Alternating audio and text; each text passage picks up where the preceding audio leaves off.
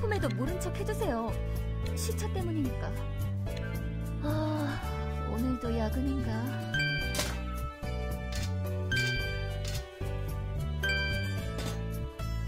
아, 오늘도 야근인가?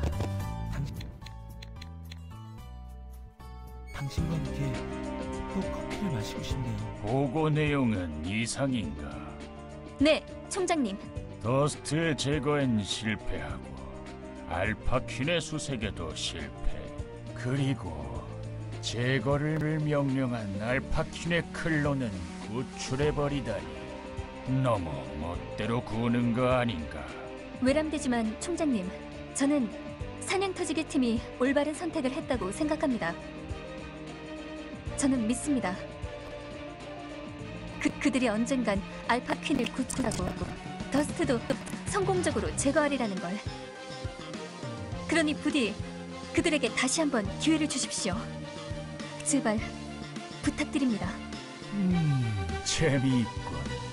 자네가 이렇게 감정적인 성격인 줄은 몰랐는데. 네, 저도 몰랐습니다.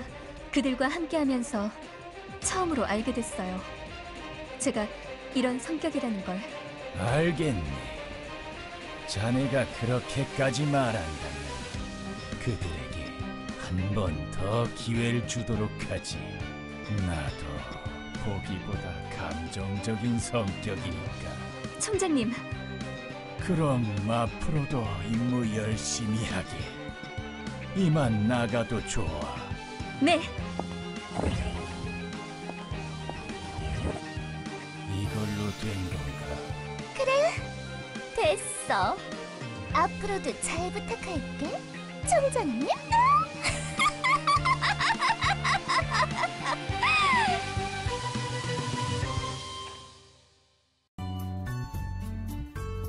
긴장하지 마세요. 어려운 일이겠지만.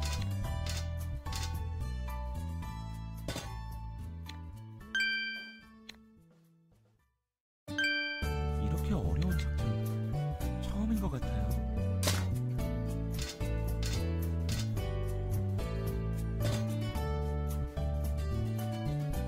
너무 긴장하지 마세요. 어려운 일이겠지만.